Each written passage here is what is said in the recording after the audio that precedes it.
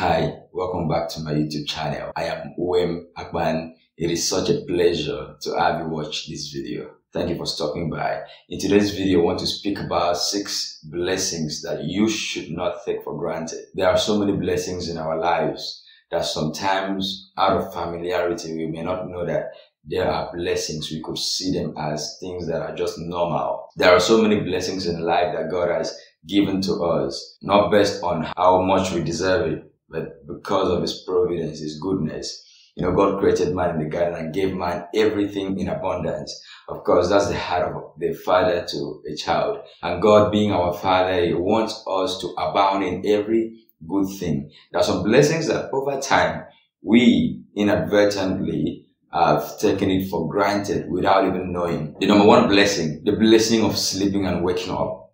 That could really be taken as something that is normal. You know, you sleep in the night, wake up in the morning. But is it that easy? There are a lot of things that happen in life. Some people go to bed, they don't wake up.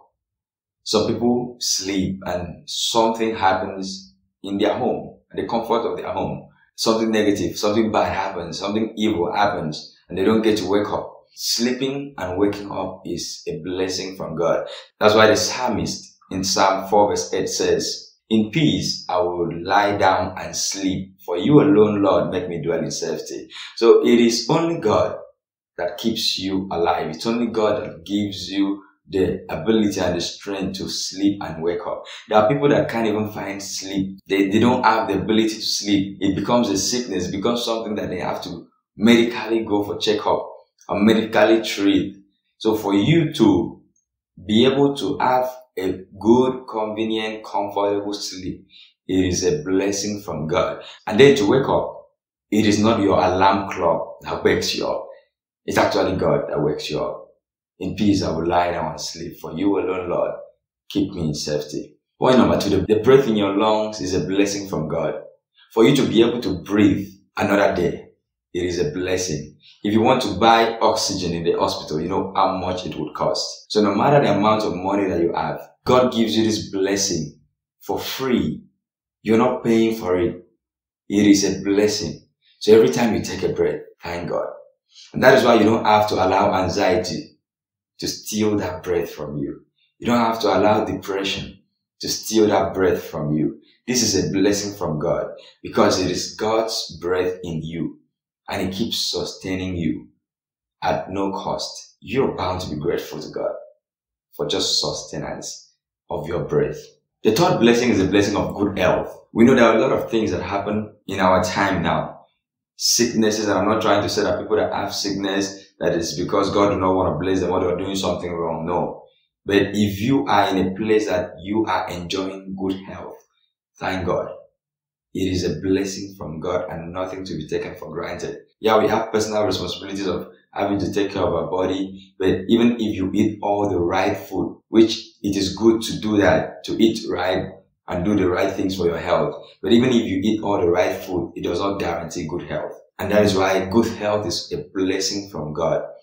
Third John 3 says, I pray, I wish that thou mayest prosper and be in health even as thy soul prospers. So as a believer, you don't need to get sick to ask God for healing so that you, it will be a proof that, oh, I'm a child of God. I pray to God and God healed me. Pray to God to be in health. Once you are in health, you will not have need for healing. Healing is the lesser blessing from health. Go for what's higher because your father's thoughts for you are always higher. He wishes that you be in health. So go for that. It was not God's original plan for sickness to attack us, to attack our body. That is why in Deuteronomy, the blessing that are listed there, one of the blessings says the fruit of your body. You're blessed in the fruit of your body, which is your body won't produce sickness. God did not originally plan for man to be sick. God planned for man to be in health originally. Sin came in and corrupted the nature.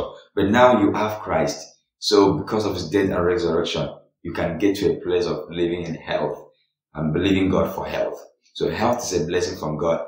Go after it. If you are feeling sickness in your body, go after that blessing from God and receive it from him because he wishes to give it to you. And if you already have health, don't take it for granted. Thank God. Be grateful for it show gratitude to God for keeping you in health. The fourth blessing that you should not take for granted is the blessing of going out and coming in. Sometimes you could think it's just a natural thing to leave your house, go out, and then come in safely. Nothing happens, and you feel it's just natural, you know, go out and come in. No, it is the grace of God and God's protection and providence that we go out and come in in safety. There are so many avenues for you to get into harm's way, so many avenues for you to be hurt. And thank God that you go out and come in safely. It is a blessing from God.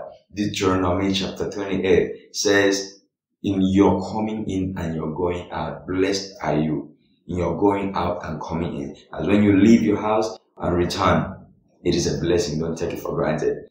In Psalm 121, it also talks about God will preserve you in your going out and coming in, which is, it is a blessing. It's not something to be taken for granted. It is not just natural to go out and coming. Yeah, people go out and coming, but be conscious of the fact that it is a blessing from God and nothing to be taken for granted. So every time you go out and come in, thank God. Be grateful to God.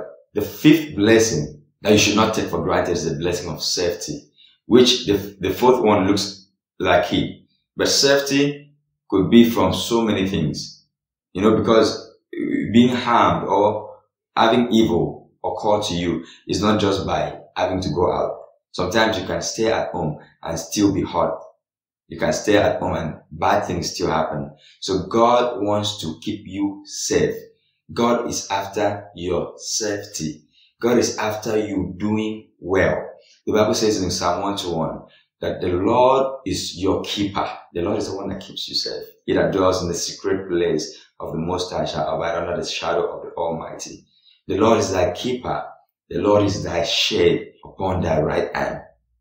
The sun shall not smite thee by day. That is safety. No evil thing in the daytime shall hurt you. Because it's not a literal term like going out and the sun beats you and you be like, God, they say the sun will not smite me by day.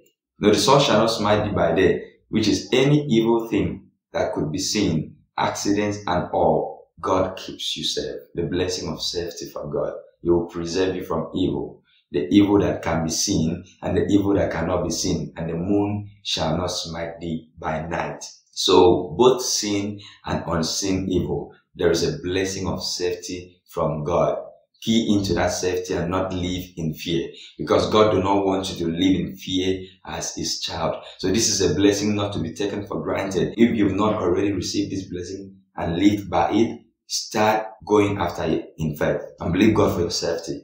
Believe God for your safety instead of living in fear.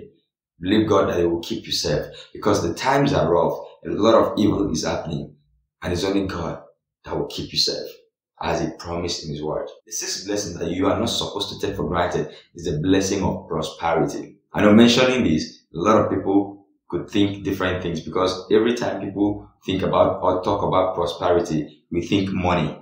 But prosperity is not just in money. The Bible says, I wish that thou mayest prosper. That word there is so rich. So you making it look like it's only money, you are actually downgrading it. It would be so wrong in context it was like, I wish that thou mayest prosper and it means that just to have, be rich, just to be rich. It's more than riches. It's wealth. You can prosper in the fruit of your land, in the fruit of your labor, in the fruit of your body, like everything you do. It's about succeeding in everything you do and having, uh, like being empowered to succeed in everything that you get to do prospering in everything. Joseph was in his master's house and the scripture says that he prospered in his master's house. So how did this slave prosper? By becoming richer than his master? No, but by everything he touched becoming fruitful. And his master saw the evidence of that and said, well, since everything you touch is fruitful, now you're in charge of everything. So prosperity, the blessing of prosperity that you get to the office and you do everything excellently is a blessing from God not to be taken for granted. You get to places and then you are favored. It's a blessing that attracts favor to you. So that is a blessing not to be taken for granted. These are six blessings that you should be careful not to take for granted. And if you have not yet abound in these blessings, you can go to God in faith and start believing Him for these blessings to be what you receive in your life. Also, there are so many other blessings that God has for us, which you should never take any of God's blessings for granted. So I would like to hear from you in the comment section, the blessings from God that you've experienced or the ones you want to experience and which you don't need to take for granted. So let's talk in the comment section. Thank you for watching this video and see you in the next video. Thank you. God bless you. Stay safe. Bye.